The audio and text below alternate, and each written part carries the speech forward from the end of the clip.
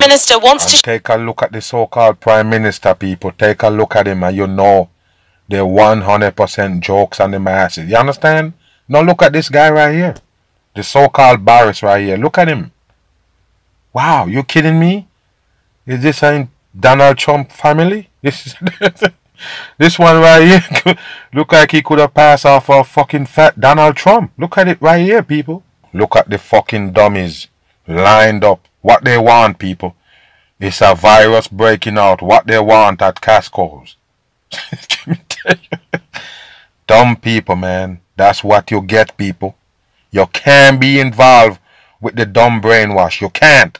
You have to stay away from it as far as you can. Don't get involved in it, people.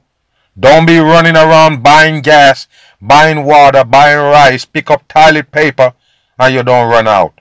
You're gonna wait, you're gonna run down these people, chase with these people and fight with them to get toilet paper and hand sanitizer?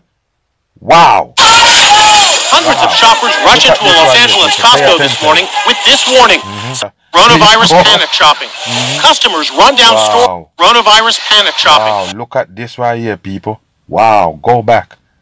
Supplies are being rationed. Mm-hmm. Keep Look up with Just wake your ass up, this. Costco is getting deliveries around the mm-hmm. clock. As you can Yes, see, a lot of go. water and paper goods, and mm-hmm. within an hour, They will even tell you that they're running short just so people can run and come get them real fast. You believe them?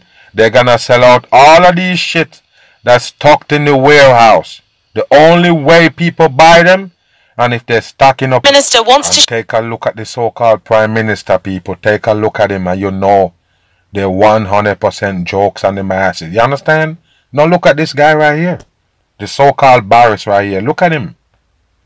Wow, you kidding me? Is this a Donald Trump family? This is this one right here. Look like he could have passed off a fucking fat Donald Trump. Look at it right here, people. Wow, they all fake on the masses. Government puppet. Wow. Are you kidding me, people? Look like Chris Farley.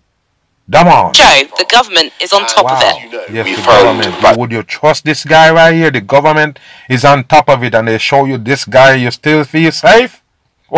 35 people in this country uh, have or This have had uh, the illness, and Wow. clearly there may be more. There may be that that is likely now to Mm-hmm. to spread a bit more, and uh, it's vital, therefore, that people understand Mm-hmm. that we do have a great plan, a plan to tackle the spread of Yes, coronavirus. they have a plan to tackle the so-called spread of the coronavirus. They have a plan, people.